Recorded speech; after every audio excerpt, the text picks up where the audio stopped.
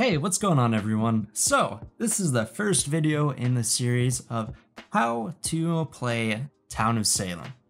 In this video, I'll be going over a couple of basic things such as basic role information, knowing the role list, commonly used terms, how to make a will, and how to use the notes. For an easier time to navigate through this video, I have included timestamps in the description below, which should also show up in your scrubber on the YouTube player itself. And make sure if you want to see more advanced and more in-depth tutorials in the future that you watch this one all the way through, show your support. At the end of the video, I've included instructions on how you can ask for what video I do next. So make sure, like I said before, to watch the entire thing all the way through. Do me that favor, pretty please and share this with your friends, your family, your dog, whoever else. Just get my word out there in order to make the town of Salem an amazing community. As a quick disclaimer, I don't claim to be the best Town of Salem player ever, however, I do know a lot about the game and I'd like to pass that information on to you guys. So, let's get into the video. So if you look at the top right hand corner of your screen, this shows your role attributes. There's a couple different things you'll notice. As you can see, I am an escort. It says your goal, your abilities, and what type of attributes you have. As an escort, my ability is every single night I have the option to distract one person of my choice and I'll get a little more into this later on with other videos, but just know that each role has a different unique ability that it can use every night, and knowing that is very key to playing this game. The next thing you want to get familiar with is the role list. So in this particular game mode, as you can see in the top left hand corner, I am playing the Town Traitor role list. That means I have a one sheriff, one jailer, one doctor, one lookout, town investigative, town protective, etc. going down the line. And if you click on any one of those randomized roles, like town investigative or random town, it can tell you what specific roles those are. You saw me click through a couple of them right there, but for example, for the random town, a random town can be any town role at all.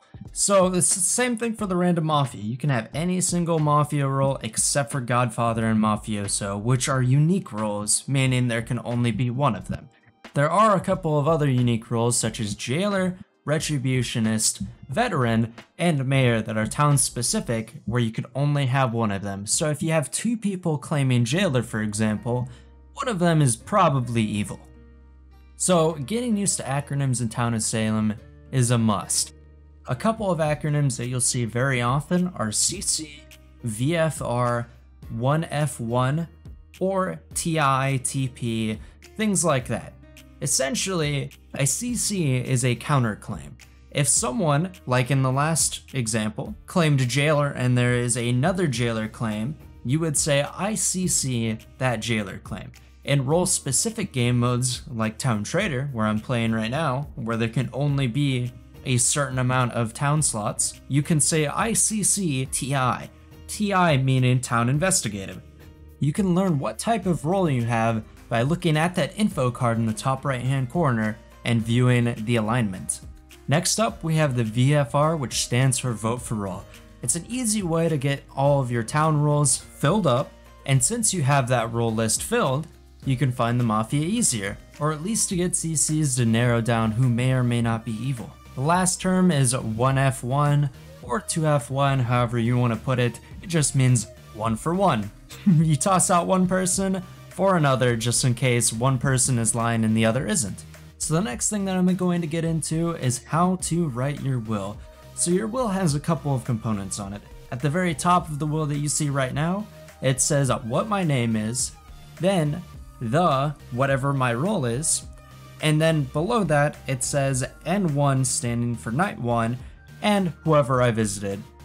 Keep in mind if you're evil you don't want to actually put hey, potato, the Godfather, and say who you stabbed that night.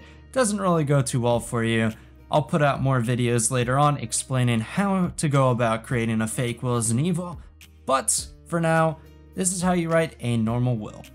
Normally, I write the number of the person that I visit, that way it's easier for everyone to read, but some people like to put in the names for whatever reason. Do whatever you want to do.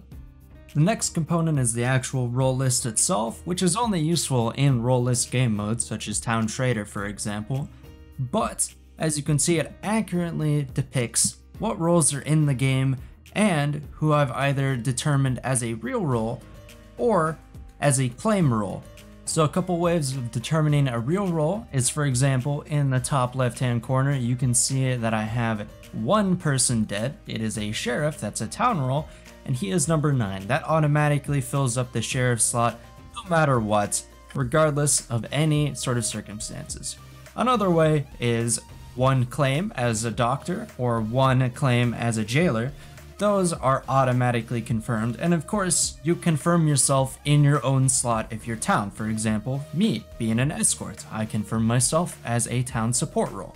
To give you an example of how this will look whenever you're finished, here's a clip from the end of the video to show you exactly what all I put down. Finally, the last thing you want to get familiar with is the notes. So the notes aren't particularly useful for town, but you can use them to your advantage when you're playing as an evil. For example, with a fake medium claim, you can fake, quote unquote, your dead chat by writing down pre-scripted text things. I don't know what you want to call them, but you can you can fake the dead chat with your notes. Or for example, in All Any, going back to what I said earlier, you can use it to keep track of every single person's role by going one, two, three, four, and then just writing out everyone's claims just to keep a better track of everything. Using all of these things may seem really trivial to the majority of you who are playing this, but they are the essentials to playing this game, and learning them can make or break your skill in this game. It's not just knowing how exactly to lie to people. If you don't know how to write a will, or to CC a claim, then you could be sussed out very quick as an evil. So, hopefully, all of this helps you guys in your future games. Like I said, it is very simple stuff, but it is very, very, very important for anyone playing Town of Salem.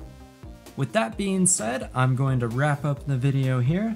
I hope you guys enjoyed the video and everything that this has brought to you guys. It's something new, something I haven't done before, and if you want me to make more of these videos, go ahead and give me a comment down below, and also make sure to include which video you want me to do next. The numbers will be listed above. Just write down a comment saying, I want to see this next, and I'll be sure to work on it. I put a lot of time into this. Hopefully, it's worth it in the end and it gets you guys those fat dubs. But regardless, my name is Shadow, and I'll see you in the next one. Later, guys.